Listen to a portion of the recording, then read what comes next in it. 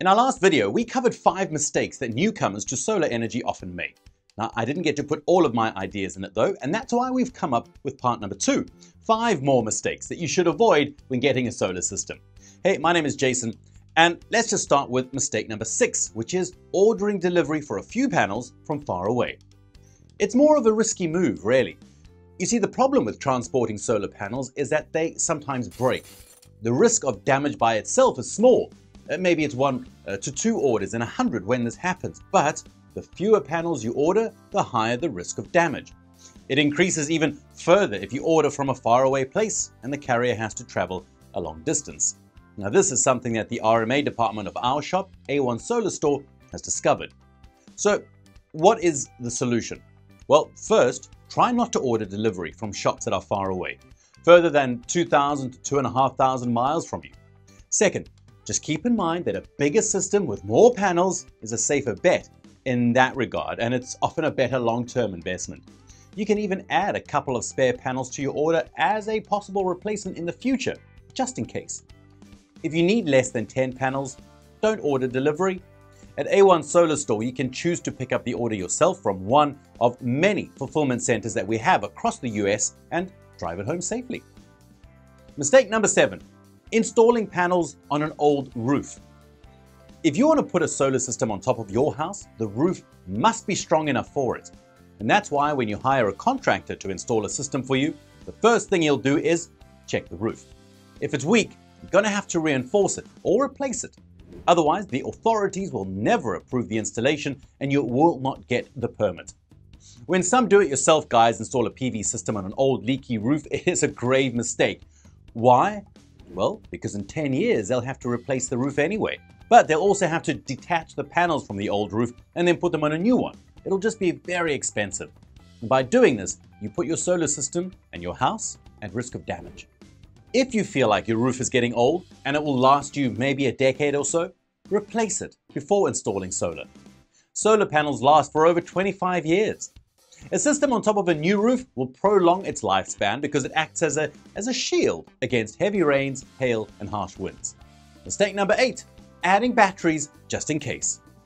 Why do solar owners get batteries? Well, if solar energy is all that you rely on, then batteries are essential for using appliances at night and on cloudy days. When you have a commercial grid, batteries can provide an uninterrupted power supply, which means that you won't lose power during outages. And that can be important when you work from home and can't risk losing power even for a few minutes. Or if the grid in your area is old or unstable, and outages are just too common to bear. A hybrid inverter can also draw power from a battery in the evening when a solar system doesn't produce enough, and utility rates are higher and you save money that way. While a battery makes your home more sustainable, it does increase the cost of your solar system one and a half to two times and makes the payback period even longer. Therefore, you really have to think twice before adding energy storage. The worst idea would be to buy a battery and put it into the garage for a rainy day. Batteries are meant to be used, and doing nothing with them negatively impacts their lifespan, especially when we talk about lead acid batteries. Another important part of the solar system that is often overlooked is the wiring. And here's mistake number nine, using small wires. Solar panels don't come with a lot of wires, and it's up to you or your installer to choose them it's not part of an installation where you should cut corners, but some still try. Again, you won't get your system approved with the wrong wiring. And if you use a wire that is too small for your panels, you risk starting a fire. The right gauge depends on the current, voltage, and configuration of your system. Usually you see 10 AWG cables in a solar system, but here's a tip. Instead of getting the size that just barely fits your system, buy thicker wires, preferably the biggest size that works for your installation. Yes, it will be more expensive, but the system will become more flexible. Maybe you decide to add new panels or rewire some things, perhaps add batteries or a new inverter. Always use copper wires and not aluminum or copper clad aluminum ones. Pick stranded wire and not a solid one. Color code your wires it makes it easy to understand the system and it pleases the fire department to no end if they come to visit. The last mistake that I'd like to mention is not setting up a monitoring system. You see, a monitoring system helps you keep track of how your PV installation works. Solar energy is variable, which means that the production of your solar system is going to vary from day to day. Your energy yield will be lower when it's cloudy and, of course, in winter. Usually, it's an inverter that collects and stores the data about the production of your system. Inverters from brands like Enphase or SolarEdge have mobile apps for your smartphone which let you control the system remotely.